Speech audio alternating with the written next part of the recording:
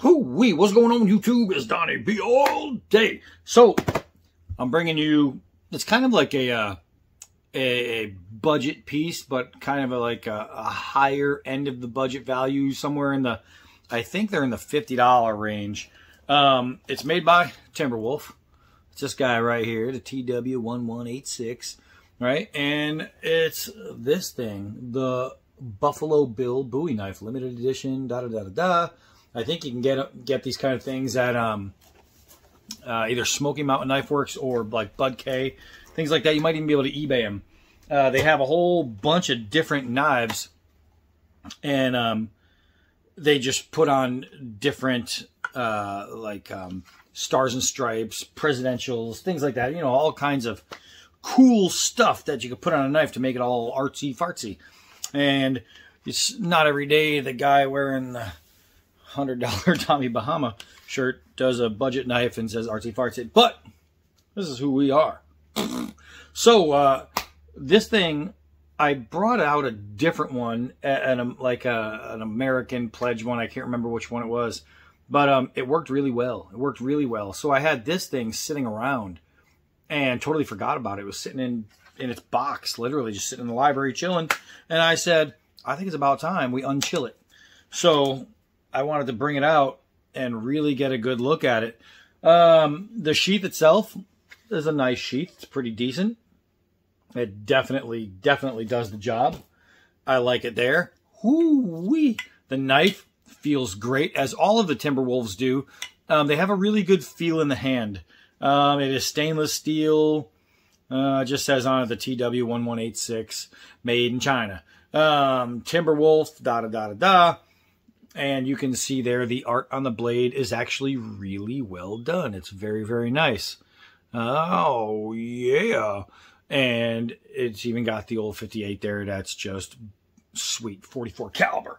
Um, let's see. It says off T Brokey Buffalo. I have no idea what that says, but it does have Buffalo Bill on it, and it's got some mountains, and it's got a picture of Buffalo Bill right about yeah. So um, so it's not bad, man. There's there are stats on this thing, right?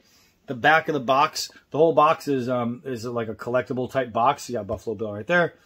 Um, if you ever seen his the like things about the Buffalo Bill um shows that he used to put on the guy was just that's what he was. He was a showman. Oh, there's even a, a sweet buffalo inlay right there on the bone grips, which are actually pretty well done. I mean, for when you're talking about like a 50-ish dollar piece, um, it's not bad. So it talks about paying tribute to the American icon who could never resist the call of the trail. That's a quote. Um, it's full tang, obviously. Keenly sharp. We'll figure it out. Uh, 10 and a half inch steel blade I'm assuming it's like a 440. Uh, Buffalo Bills laser etched artwork, signature, da da da da da. Um, scales are crafted of rich dark brown wood and natural look bone. So it's a faux bone, but it really does look like bone. So they did a good job on the natural look. And accented with a buffalo medallion and brass spacers, 15 and a half inches overall slides like a glove into its premium leather belt sheath for storage and carry. Collector's items, so don't ruin these. Um, and also being a collector's item, it's probably not the kind of thing you want to go out and baton with or hit with. But this is a knife channel, damn it. We're going to go hit with it. Let's go outside. So the first thing you'll notice about this knife is it's not being used in the rain. Hey, look at that. Somebody actually asked me after like the last video, they said, does it always rain there? Is it always raining? And I said, not always, but we do get a lot of rain. Um, happens to be a beautiful 55-ish degrees right now. Nice and sunny here in November in Massachusetts. Let's uh, bring you guys, bring you guys down to the right level so we can uh, we can get going. That's the right spot. So let's start with some uh, start with some four foot drops. We'll see the balance of this finely crafted piece of uh, thing. It even has a lanyard hole, which I just noticed with a brass pin in it. Boop. Let's do a couple of. Uh, that's got some bite, fellas, because of the weight. That weight just makes it sink, man. Um, let's do a couple hard downward throws and we'll see if the scale is loosened. Boom! Did you hear that? Golly. Bam! That thing hits like a brick. So let's figure out if this keenly sharpened edge is keenly sharpened. Um, we're to try a push cut. And it does have a nice flat ricasso, so we're to try that first. And wow. Okay, so it push cut pretty good, and then I just sawed off the rest. So it's sharp enough for a straight cut. Let's see how it handles against the uh, against the uh, cord here. Boop, extension cord. And then it rolled off and hit me in the leg. But I didn't die, so we're okay. That was as clean as clean can be. Did the metals give any chipping? No, they did not. Everything looks fine. Let's see if four layers of leather belt can be shaved with it. Wow. All right, so this is one that this is one of the tests that I didn't expect. I didn't think that it was going to be able to um, to slice through that, um, and it didn't do it perfectly, but it did it good enough to work fully. And that happens. Remember, there's artwork on the blade, so you probably don't want to dive your knife into a tire. Um, usually not one of those things that you're going to be doing. So let's see here. Let's see what we can see to see. Let's take some of this down here. Got that in the way. Look at this. I mean, the knife knives. It knifes. And uh, all the um, the timber wolf Bowies of this shape and size and style that I've done so far have all actually performed really well. And and even the one that has the stars inlaid in the handle, um, I haven't lost a single star yet, which is pretty good. But um, I mean, it knifes. It really knifes. So, am I going to be able to use this decorative piece of don't use it as um as a camp blade? Absolutely, absolutely. Until it fails me, I would find no reason not to be able to use it for stuff like that. Um, the thing works. It works. Can I feather stick with a big 10 and a half inch blade or whatever it is? Absolutely. Let's see. Let's see if we can get some pulls on the side grip here. Let's see. This thing, it's a Bowie that Bowies. It's a knife that knifes. And that when you're talking about, you know, is it good?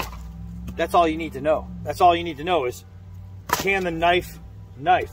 Let's find something to baton with because it's a collector's edition. So uh, I'm gonna find a nice big piece because we got a nice big blade. Here we go. You guys are watching one dog pee and one dog just stand there looking like an idiot. At least I gave you something to do. All right, here we go. Let's try and get through some of this here.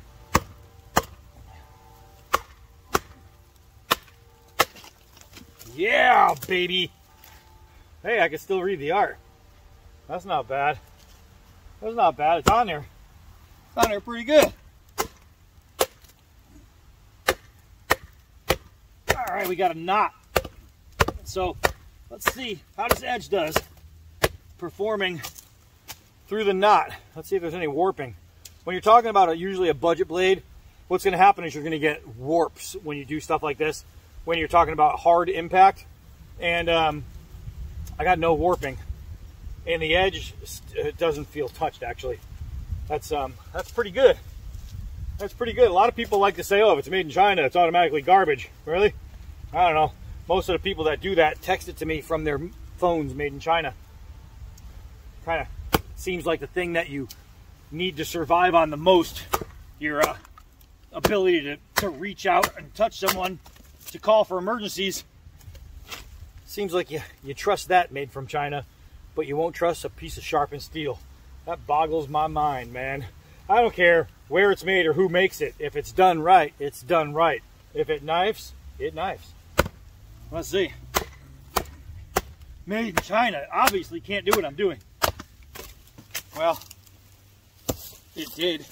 So, um, let's see. I can still read it. Um, so far, no tang breakage. Um, I have no cracking in the scales.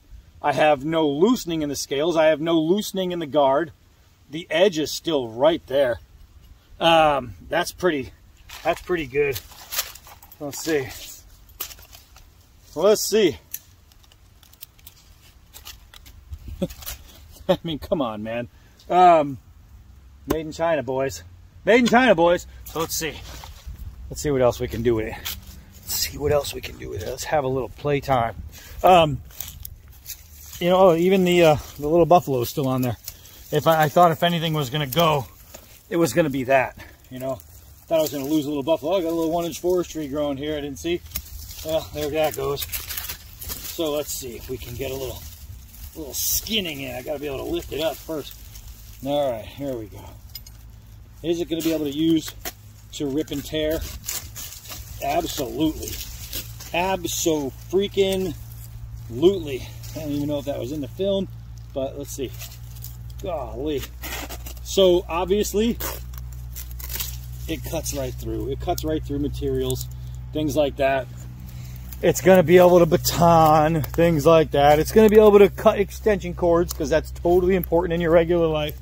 It is strong enough to get some bite into a log and pick it up without breaking and then drop it sideways onto some other logs, which I didn't mean to do. And it's still not loosened. And that right there, if this was a really cheap piece of garbage, that should have damaged something but it didn't. So I have to say I'm pleased with that. Let's move you guys right here. Think you look good there. I think you guys are all handsome, except you and maybe you. Um, but the rest of you, you look good. All right, so let's get a couple whacks of this thing. Woo! Those kicked right up in my face. Look at this. Look at this.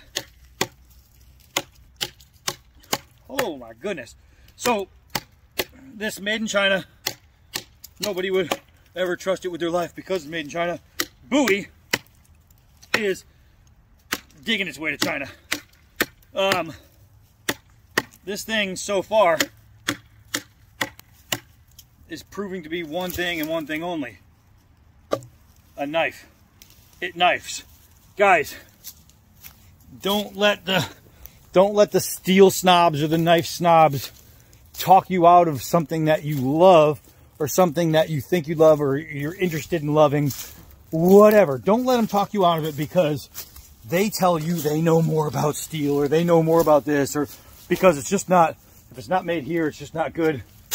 Don't let them dictate how you shop, what you carry. Don't let it happen. If the knife knifes, it freaking knives, and that's all you need to know. And some people just have so much hate and prejudice that they dictate whether something is good by the shape of the eyes of the people who made it. And I'll tell you what, that's no bueno, man. These guys have been doing this for thousands of years before we were even a country. So I'm pretty sure at least one of them, at least one of them read the recipe that's been handed down from old grandpa knife maker. Right? So, I don't know. My thing is, I give it a chance. You know, if it's, I don't care if it's made in a hut in Indonesia somewhere, you know, by a, a three-legged, no-armed dwarf named Schnitzensnow. Um, I just don't care. I just don't care. If they do a good job, they do a good job. And where, where I'm going to start saying, hey, don't buy this, it's garbage, is if it becomes garbage or, or it works like garbage or it feels like garbage. I can't tell you that a product isn't worth buying if it's worth buying.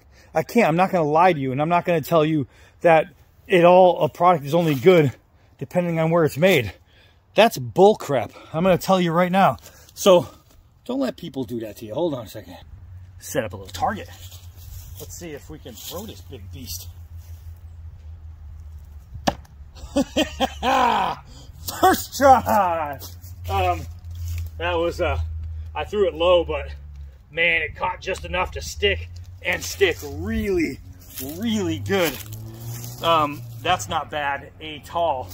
So, that there's a Bowie, mister. Woo wee buoy! Um, I have to say that, uh, like, like the other Timber Wolf, uh, cheap Bowies that I bought, it works. Would I be able to go into the woods and come out of the woods alive if this was my knife? Yup. Um, does it really matter who made it? No. I don't care if it was machine made or handmade. If it knifes, it knifes. Do I prefer a handmade knife made by a masters? Yup. Do, do I really think that if I got attacked, I wouldn't be able to defend myself with something that was made on a machine by some guy who just filled out an application? No. I'll tell you what, I'll throw sand in your eyes and kick a hole in your chest with no weapon at all. And then you're going to wonder, well, good thing he, did, he didn't have a knife. So, but I always have a knife. So, I mean, so that's it. This knife, this knife is, is exactly what it, it's supposed to be. It's a decorative, beautiful, like historical representation, and it's a collector's piece. But more than that, it's a collector's piece that you could trust your life on if the proverbial shit hit the fan. You can actually use this knife and make it through whatever you have to make it through. And that's not me being nice or me being generous. That's fact. That's fact. And I and I don't just tell you, I show you. That's the difference. When you talk about like Choir Boys Cutlery with Scab, who's on his way to 5,000 subs, let's sub Scab. Um, we use these things. We put them through their paces. We hammer on them. We hit them hard. We drop them sideways, sticking in a log onto another log. Um, accident. Um, but we do that kind of stuff because we want to know for ourselves if the knife is going to work, but also we want to know for you because if somebody is telling you not to buy it who doesn't do what we do, then can you really trust it? You know, I mean, I can't. I can't. I can't trust somebody telling me something's good or bad who's A, never used it, B, never held it, or C, just is talking, is saying it's not worth it because of where it's made. You don't know that. You don't know anything about that. So let's just let's just dump all that, you know, assumptions and and you know that that thought process that it's junk if it's not made in a certain place by a certain someone. I, I have a message for you. I'm not going to tell you what it is, but I have a message. Sorry, I had to clean that. Um, but anyway, here it is, the TW1186 by Timber Wolf. Um, and even if you can't find this model, there are other models just like it with different print and different art on them that it's the same exact blade with different art and different handles. So you can pretty much guess how that thing's going to handle. Um, not bad. Not bad. The knife freaking knives. Hi, I'm Donnie B all day. And until next knife.